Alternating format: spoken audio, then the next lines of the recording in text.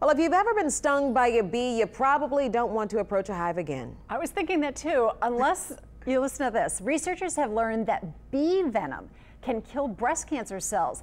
So how close is it to becoming a treatment? Medical reporter Meg Farris explains.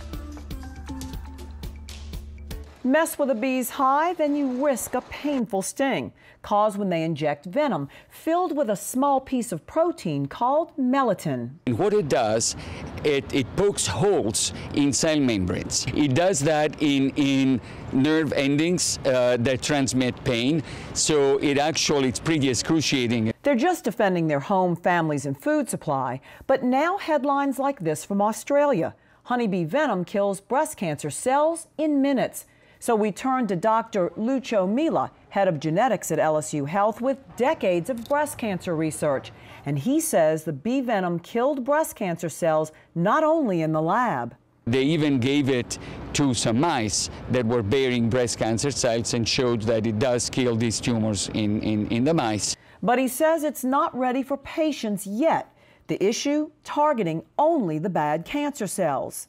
The, the issue with these substances is that uh, they have to be given IV and they're quite toxic.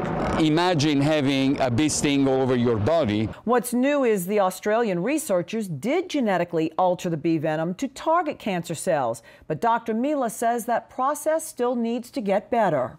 This particular substance isn't ready for clinical prime time Uh, we're going to need to do quite a few more animal studies.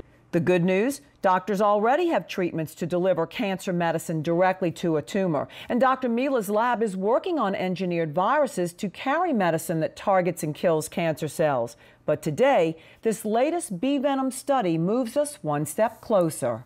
Is this a breakthrough?